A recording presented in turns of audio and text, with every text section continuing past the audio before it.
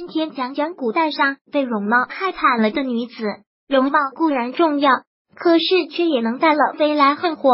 今天小编准备讲的是一位貌美如花的女子。这一位女子的出生也是一般般，可是她却非常的漂亮。她因为容貌，这一生跟许许多多的男人纠缠不清，其中名气最大的就是她吴三桂了。而我们今天要讲的女子是陈圆圆，她这一生跟许许多多的男人有纠缠，红颜薄命，一代名妓陈圆圆究竟被多少男人霸占过？一个比一个厉害。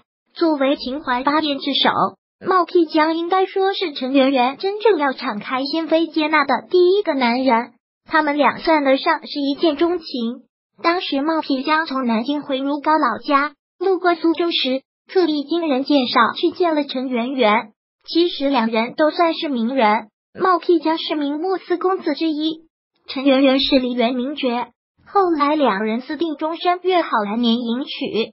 结果是茂辟疆因家中有事玩去了几天，陈圆圆被一个叫田红的国舅看上，被强掳去了京城。田红为博皇上欢心，将陈圆圆作为礼物献给了崇祯皇帝。由于一些事情，皇上十分的烦心，于是就把陈圆圆打发了。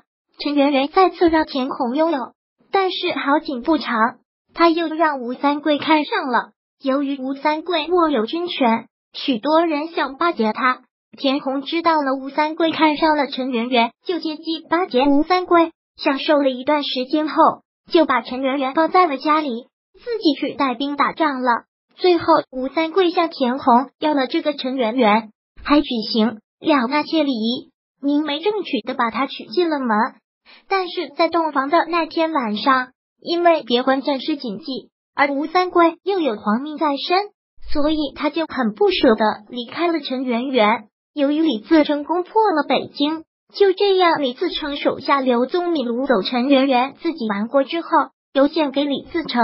李自成建立了大顺王朝，立陈圆圆为妃。以上就是陈圆圆的故事。她的一生真的是命运多舛。